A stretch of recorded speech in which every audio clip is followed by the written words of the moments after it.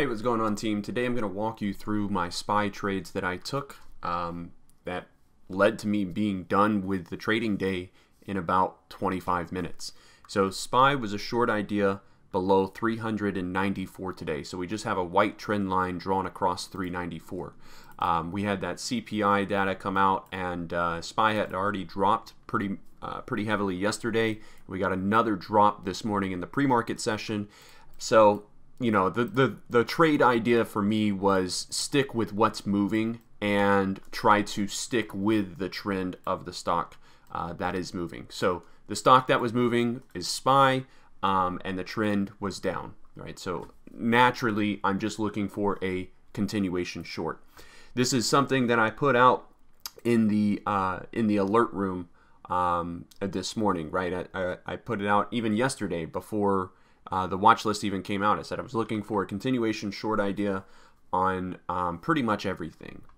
So market opens up, right? SPY has a little bit of green and then goes red, red, red. So the red move down below the trigger level at 394 from nearly 396 was a pretty hefty move.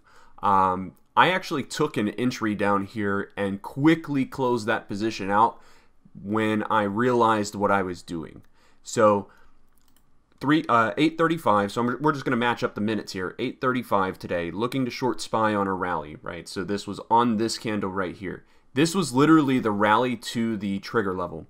So we know we don't chase the moves down, so taking an entry here wouldn't have worked. Instead, we want to wait for the rally. I actually took my entry short on this rally here and sold it as we got the move down to the low day. Wasn't a big percentage gainer. Uh, contracts ran about 10% there on the um, on the puts that I mentioned, and uh, I closed it out because SPY is trading in a downward channel, and I realized that that this part of the channel was actually the support point. So I didn't think that this was going to just be an easy move where we drop like this and continue to fall. Um, uh, so I that's why I closed that that position out as soon as I realized what was going on. So then we start to get this rally back up, right? SPY breaks over $394. Um, on this candle right here, this is not an entry. Uh, this is actually where I, I took I, I made my next mention, which was I'm now looking for a 395 reject on SPY for the short idea. Extra confirmation would be a break back below 394. So if you didn't want to take the rejection off 395, I understand, but the confirmation again would have been a break back below 394. Um, the next mention that I made was, hey, I took my entry short. My stop loss is 395.5, and that was at 846. So that was literally on this candle right here. So here's what we have. I've got the mention of the trade idea, right here where I said I'm looking for a short at 395. We get the run up to 395, which is right here. We get a, a doji candle formed at 395, and then another red candle started to print. I didn't I didn't totally top tick this. I mean, we we called it I called it out on this minute, but um, as soon as this started to come back down, that's when I took my entry, right? And so that that was uh, everything's time stamped here.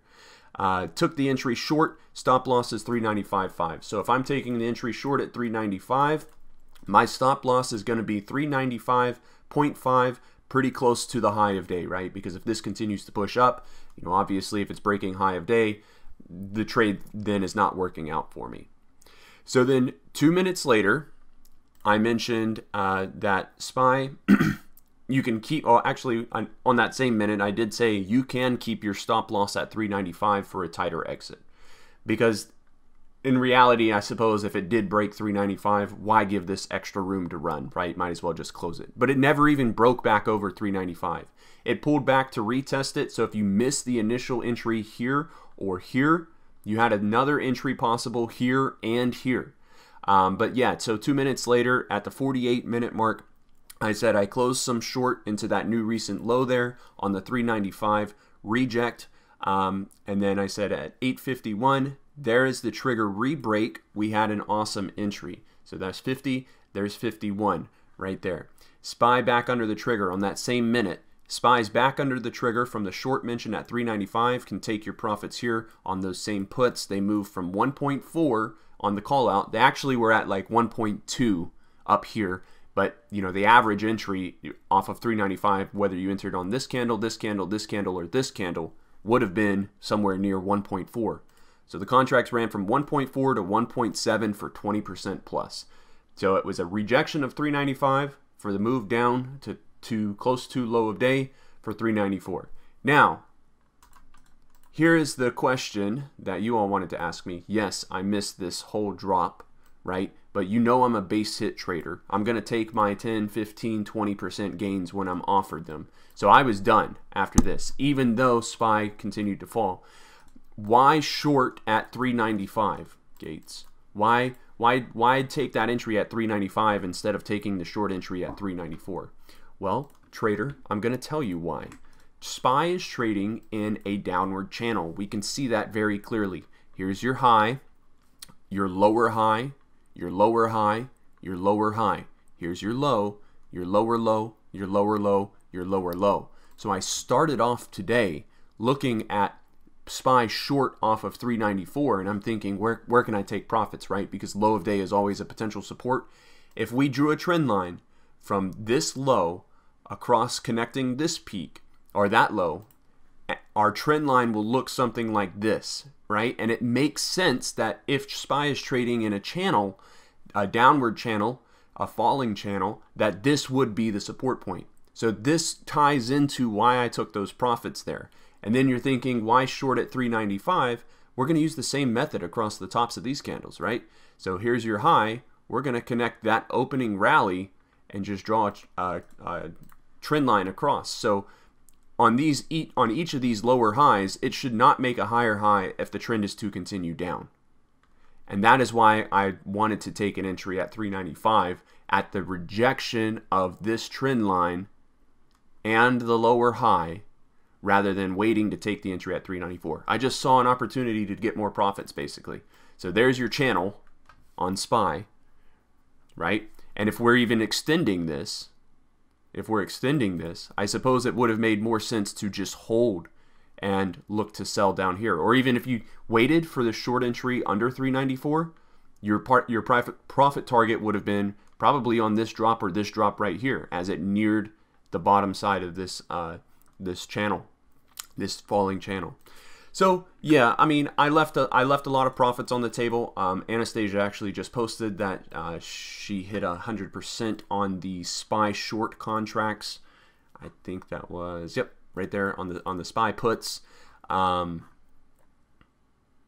I mean, it's just it's it's kind of a textbook trade. Even if you're not understanding why I'm taking the entry at 395, the short trigger based on the day trade watch list is 394. So we get that break below 394. Hey, one, two, three minutes of consolidation there below. Either one of any one of those minutes look good to take the entry for the run down. All right. Um, I'm going to move to the to the profits channel. I'm going to see where you guys are at today. 20% on SPY, 20% uh, on SPY, 25% on SPY, 23, 21, 100%. There's another one. Boro Boro with another 100% with a 100% gainer on the puts. Um, and then, of course, Anastasia posted that in the main chat. So I'm glad that you're realizing, um, you know, the the trades that I'm taking and uh, trying to spend the time to study this stuff. But look, you don't have to take the same exact entries and exits that I do the way that I trade, I know works for me extremely well. Um, but if you're trying to find your way of trading and find what works for you, I recommend just starting with the watch list and just trade the watch list according to the trigger levels, according to the rules, because that's going to help you out. Um, even if you feel like you missed this short entry, it still dropped below 394. We still got the five minute candle closing below 394. The short entry in this area was still valid looked good for the run down, plus we had a negative news catalyst. Okay, so I hope it makes sense. Press that like button for me if it does. Thank you for your time, and I will see you all later on. I'm calling it a weekend here. Take care.